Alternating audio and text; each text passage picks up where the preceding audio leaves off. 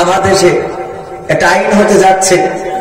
একশো জন যদি মদ্যপায়ী থাকে তাহলে সেখানে একটা মদের দোকান দেওয়ার লাইসেন্স দেওয়া হবে। মেম্বার সাহেব। হ্যাঁ? এখন এই যে মদের লাইসেন্স দেয়া হবে আমার সরকার মাননীয় প্রধানমন্ত্রী জননেত্রী শেখ হাসিনা মাদকের ব্যাপারে জিরো টলারেন্স দেখিয়েছে। সুতরাং মদের বৈধতা দেয়া এটা কিছুটা হলেও জাতির সাথে উপহাসের সামিল। এটা করা যাবে না। মুসলিম অধ্যুষিত দেশে মদের লাইসেন্স দিতে দেয়া হবে না হবে না হবে না। কোরআন পড়বেন কোরআন দিয়ে দিন শুরু করবেন কিন্তু সেই কোরআনের নিষিদ্ধ মদের আইন বাংলার জমিনে লাইসেন্স দিয়ে খাওয়াবেন এটা তো হতে পারে না এটা হতে পারে? এটা আমার মাননীয় প্রধানমন্ত্রী করছেন না।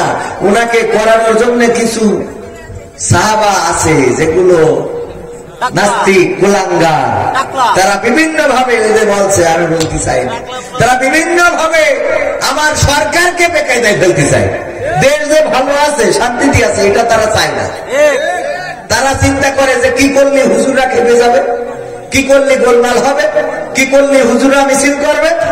বলবে, দেখো, আমাকে হুজুরা খালি মিছিল করে, খালি মিটিং করে।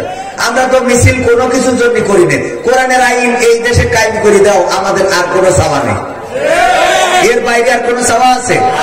আমাদের আর কোনো চাওয়া পাওয়া নেই। নারায়ে